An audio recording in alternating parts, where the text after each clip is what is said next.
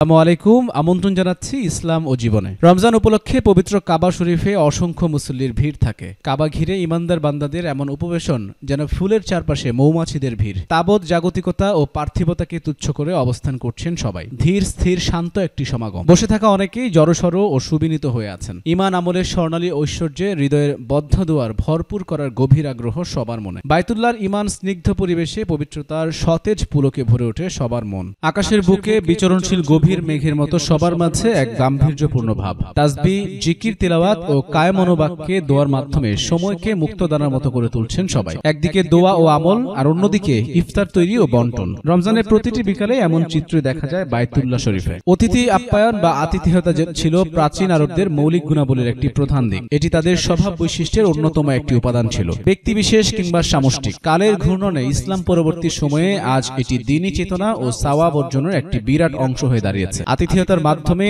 আরবরা তাদের সভ্যতা ও সংস্কৃতিকে উঁচুতে ধারণ করে আছে স্বভাব ও সমাজের স্বাভাবিক বোধ হতে আরবদের এই আপ্যায়ন। আসলে খানিক পর হতেই ইফতার বিতরণের পূর্ব প্রস্তুতি শুরু হয়ে যায়। মাগরিবের আজানের সময় ঘনিয়ে আসার সঙ্গে সঙ্গেই সবাই খাবারের জন্য বিছানো দস্তরখানে একত্রিত হন। মসজিদুল হারামের ভেতর ও আঙিনা জুড়ে তখন এক অন্যরকম পরিবেশ সৃষ্টি হয়। ভেতরের পরিবেশ সুন্দর রাখতে মূল মসজিদের ভেতর শুধু খেজুর জমজম ও আরবি গাওয়া পরিবেশন করা হয় তাছাড়া স্থানীয় ও আগত জিয়ারতকারীরা ব্যক্তিগতভাবে রুটি মাঠা দই, সমুচা ইত্যাদি বিতরণ করেন। বাইতুল্লাহর বড় ছোট প্রবেশ পথ কিংবা ভেতরে চলার পথে খেজুর বিতরণের দৃশ্যগুলো চোখ শীতল করার মতো। সেই সময় সবার মাঝে যেন আত্মত্যাগ ও বিসর্জনের এক অপূর্ব সম্মিলনের চিত্র ফুটে ওঠে। বিতরণ করতে পেরে সবার চোখে মুখে থাকে অপার্থিব খুশির ঝিলিক। সবাই যেন হৃদয়জাত ভালোবাসা বিতরণ করছে, বিলিয়ে দেওয়ার মাঝে যেন হৃদয়ের প্রশান্তির শুভ্রতা ছড়িয়ে পড়ে। কিন্তু মূল মসজিদের বাইরের আঙিনার দৃশ্য ইফতার ও এর পরবর্তী সময়ে সম্পূর্ণ ব্যতিক্রম। বাইরের পরিবেশিত ইফতারে খেজুর, জমজম গাওয়ার পাশাপাশি রুটি, কেক,